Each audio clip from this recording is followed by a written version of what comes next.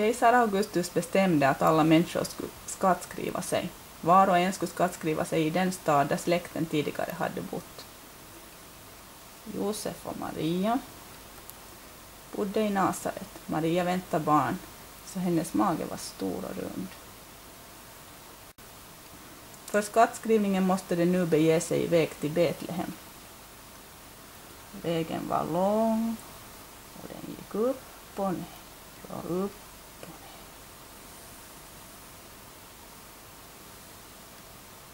När de äntligen var framme gällde det att hitta en plats att sova på.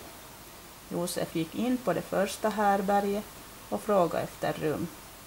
Nej, alla rummen var upptagna och Josef kom ut igen. Samma sak på följande ställe och följande ställe. Inga lediga rum. På grund av skattskrivning var det mycket folk i staden och alla rum var upptagna.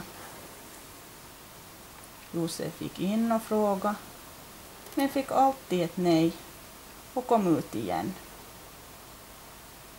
Maria var väldigt trött, för det var snart dags för barnet att födas. Till slut träffade de en vänlig man. Inte heller han hade plats i sitt hus, men han erbjöd dem att sova i hans stall om de ville.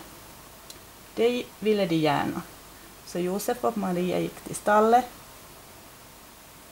och bäddade åt sig i höet. Och fick äntligen vila lite.